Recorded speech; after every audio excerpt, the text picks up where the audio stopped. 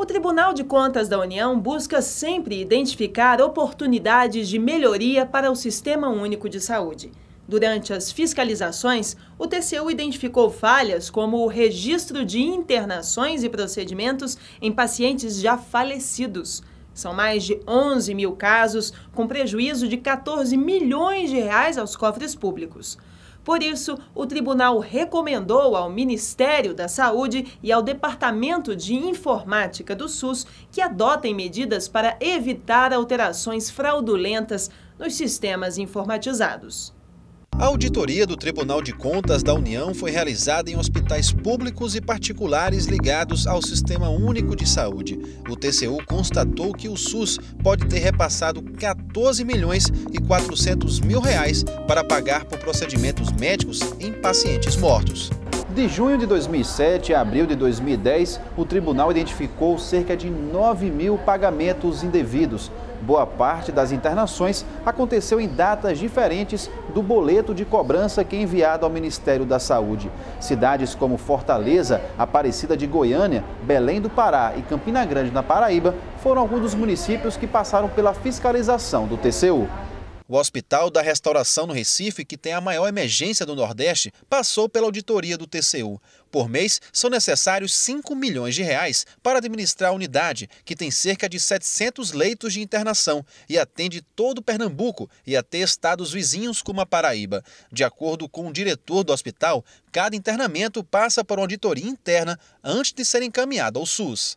Todos os pacientes nossos que são internados após a alta e o prontuário é encaminhado para as contas médicas, onde nós temos médicos auditores, onde eles vão verificar todas as medicações, material de órtese e prótese, tudo que foi gasto com o paciente. Em seguida, ele libera o pagamento do, do que foi gasto na casa e aí com isso a gente tem um controle rigoroso de tudo que é usado dentro do hospital. A restauração é o destino de muitos que procuram leitos por vários hospitais. Foi o caso de Dona Maria do Socorro, que viajou mais de 100 quilômetros em busca de internação para a prima, que sofreu um acidente. Ela veio de Barreiros para o hospital da Otávio de Freitas. Chegando no Otávio de Freitas não tem médico. Veio para a restauração. Chegando aqui, fez uma cirurgia no pé e até então está no corredor, pois não tem leito. É difícil demais não podemos entrar no hospital para visitar, porque só pode entrar uma pessoa de cada vez. No caso, quem entrou foi a mãe dela, e aí a gente fica só esperando. Ficamos na, na porta do hospital aguardando que apareça um leito. Com o déficit de leitos no interior do estado, este pedreiro também precisou levar a irmã para o Hospital da Restauração. Muito difícil, viu? Principalmente para gente que vem da cidade distante, né?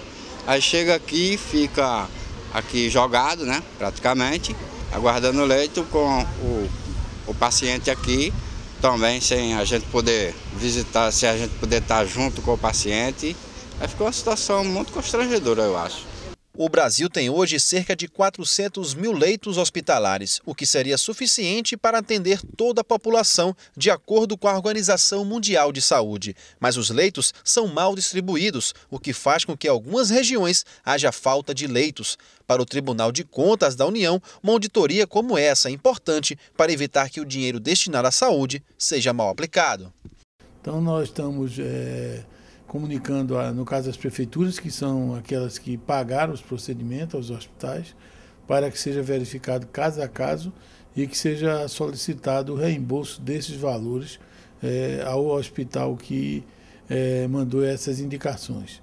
E, em segundo lugar, nós estamos é, realizando uma série de determinações para que o Ministério da Saúde fiscalize os procedimentos do SUS e também, ao mesmo tempo, ele melhore é, os seus cadastros e a sua tecnologia em TI, em, em tecnologia da informação, para que se tenha um sistema que possa ser mais confiável. Veja a seguir. TCU fiscaliza a adesão de ações sustentáveis ambientais nas instituições públicas. E você vai ver também auditorias em obras de construção, ampliação e reforma de presídios custeadas com recursos federais. A gente volta já.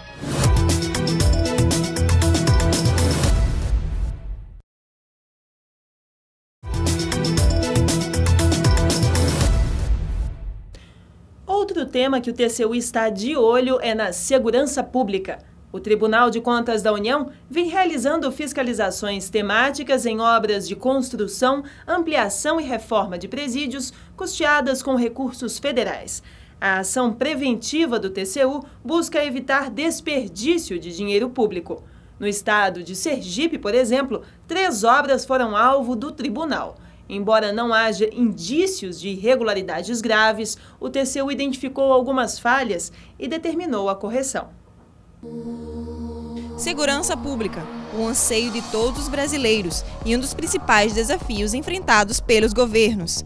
À medida que a criminalidade aumenta, a população carcerária também cresce.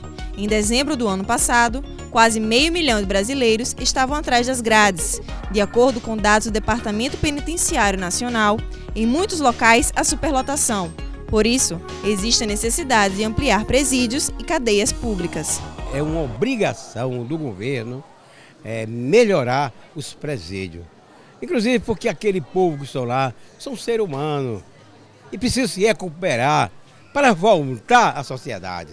Quem vai ganhar com isso vai ser a sociedade que, através dessa reforma dos presídios, poderá oferecer a esses presos né, condição de eles se recuperarem. Eu acho muito positiva a ideia porque a pessoa, por estar presa, ela não precisa ter condições subhumanas né, de, de convívio. Sempre atento à correta aplicação dos recursos federais, o Tribunal de Contas da União está realizando auditorias em obras de construção, ampliação e reforma de presídios, financiadas com recursos federais. Em Sergipe, três locais foram fiscalizados: o Presídio Estadual Manuel Barbosa de Souza, no município de Tobias Barreto, a criação da cadeia pública territorial em instância e o presídio advogado Emanuel Castro em Areia Branca, que será ampliado. Neste último caso, as obras tiveram início em novembro de 2008, mas foram paralisadas pela empresa contratada em março de 2009. Uma licitação deve ser realizada. O investimento previsto é de um milhão e meio de reais para criar 154 novas vagas, totalizando 418 vagas prisionais na unidade. Já a construção da cadeia pública territorial tem investimento previsto de quase 6 milhões de reais e deve criar 196 vagas. As obras no Presídio Estadual Manuel Barbosa de Souza pretendem abrir mais de 240 vagas, totalizando 351. O orçamento previsto é da ordem de 5 milhões e 200 mil reais. O TCU avaliou as licitações e os contratos para execução das obras em Sergipe. Não foram encontrados indícios de irregularidades graves, mas o TCU detectou falhas que precisam ser corrigidas. O tribunal observou que houve desclassificação de concorrentes de maneira inadequada. Além disso, recomendou correções nas planilhas, que indicam serviços iguais com preços diferentes, serviços ossados sem custo unitário e cálculo de impostos sem a devida proporção. Geralmente, e esse é o, um problema que o tribunal se debate, são os projetos que são insuficientes ou mal feitos, ou, ou mesmo praticamente inexistente, esse tem sido o, o, os problemas de achar de auditoria. Agora, até agora, dos que eu relatei, nenhum foi constatado IGP, que significa é, irregularidade com recomendação de paralisação. Todos têm sido com continuidade. O tema sustentabilidade nunca esteve tão em voga como nos dias de hoje. A administração pública federal, como grande consumidora de bens e serviços e responsável pelas políticas nacionais, deve dar exemplo de boas práticas sustentáveis. Mas o desafio é grande. A auditoria do Tribunal de Contas da União constatou que ações de uso racional e sustentável de recursos naturais em instituições públicas estão longe de se tornar realidade. Saiba mais na reportagem. Para que um empreendimento seja considerado sustentável, é preciso que seja planejado para não prejudicar o meio ambiente. Além disso, também é preciso se preocupar com aspectos econômicos, sociais e culturais. Isso quer dizer que simples ações realizadas no dia a dia, como por exemplo o uso eficiente da água e da energia elétrica, coleta seletiva e o consumo responsável de produtos e serviços, já podem fazer muita diferença. Nesse sentido, o Ministério do Meio Ambiente criou o programa chamado Agenda Ambiental na Administração Pública, uma ação que busca a construção de uma nova cultura institucional nos órgãos e entidades públicos. Nós temos dados que nos apontam que 16% do PIB brasileiro é gasto em contratação de obras, bens e serviços e na gestão dos órgãos públicos. Se nós pudermos mudar o uso desses recursos e dar a ele eficiência, tanto do ponto de vista de gastos quanto do uso dos recursos naturais, a administração pública com certeza estará dando exemplo para a sociedade e contribuindo com a sua parte para que nós possamos solucionar os problemas ambientais que afligem hoje não apenas o Brasil, mas o mundo inteiro. Desafios não faltam para o governo, pois é necessário que haja cooperação e mudança cultural para minimizar os impactos sociais e ambientais. Existem ainda ações voltadas para a sustentabilidade, como o Programa de Eficiência do Gasto e o Subprograma de Eficiência Energética em Prédios Públicos. Para esta doutora em resíduos sólidos pela Universidade de Brasília, é importante que cada um faça a sua parte.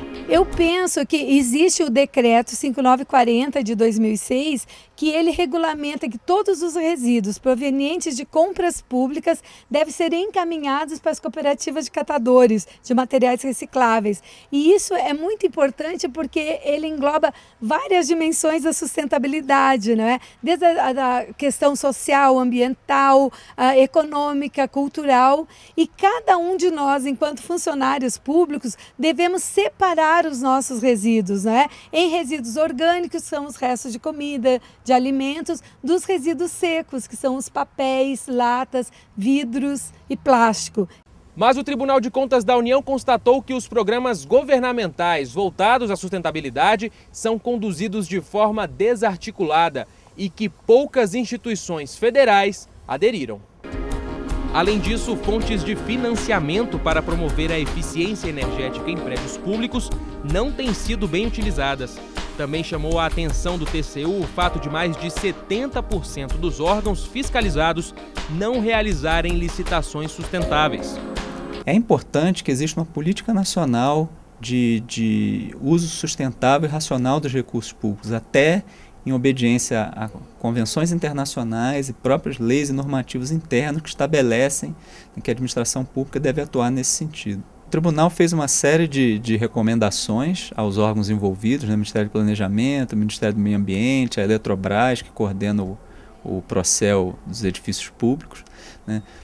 Ao Ministério do Planejamento, né, ele estabeleceu um prazo de 90 dias para que o Ministério do Planejamento elabore um plano de ação né, é, estabelecendo medidas para estimular é, os órgãos e determinar que os órgãos da administração pública adotem realmente medidas para, para, para promover o uso racional e sustentável dos recursos.